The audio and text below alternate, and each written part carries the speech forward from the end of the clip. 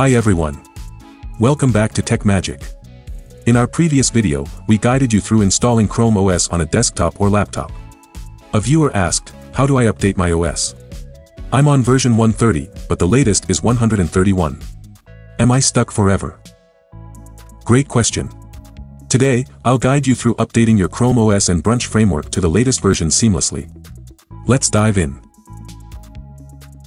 When we check for updates, it loads for a while and says there's no update, even though the Chrome OS website shows a newer version is available. Now, let's fix this issue.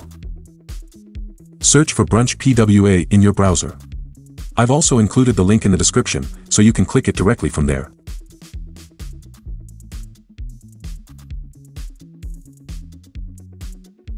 Now, install the Brunch PWA.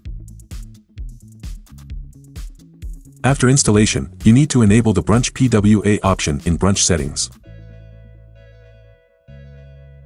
Restart your computer.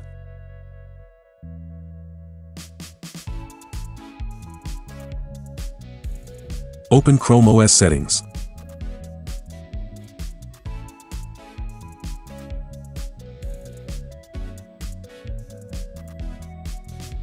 Press enter, then press enter again.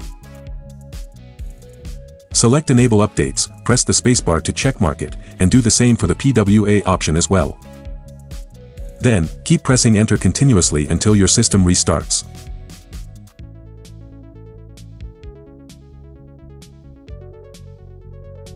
Once restarted, open Brunch PWA from the menu.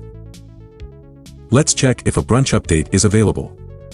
There are no Brunch updates available right now, the latest version is already installed. Always make sure to check for Brunch updates before updating Chrome OS. Now, go to Settings to update Chrome OS. Click Check for updates. Our device is now updating to the latest version of Chrome OS. The issue is fixed. Once the installation is complete, restart your computer. Thanks for watching Tech Magic. If you found this guide helpful, hit that like button and subscribe for more tech content. Drop a comment if you have any questions. See you in the next one.